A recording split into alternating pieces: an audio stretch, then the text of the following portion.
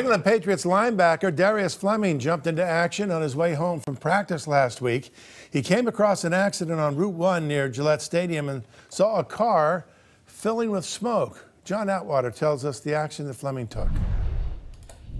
The doors were locked completely. I could not get out myself. The battery died, and um, I I tried to manually open all the locks, and then after that failed, I tried to kick open the door of the passenger window myself. This young woman, who'd rather not show her face, could not escape from her car after a crash on Route 1 last Thursday. But just behind her in his car, a Patriot star with the strength to save her. The doors wouldn't open, so um, at that moment I was just like, you know, I got to get her out of here some way. So I started. She she actually, what made me start kicking the window is she was trying to kick the window, but it wasn't doing much damage. So I started kicking the window, and then it broke and I pulled her out. Very heroic for pulling over and, and helping out someone in need. Um, thank you so much. It was quite a save, but it came with a sacrifice. The Patriots linebacker had a big gash on his leg that required 22 stitches, and the injury came just two days before the Patriots game against the Chiefs. It was a freaky situation. I wasn't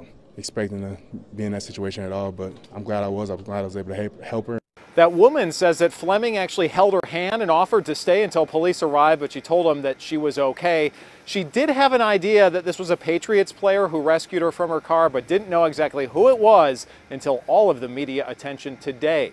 In Walpole, Massachusetts, John Atwater, WMUR News 9.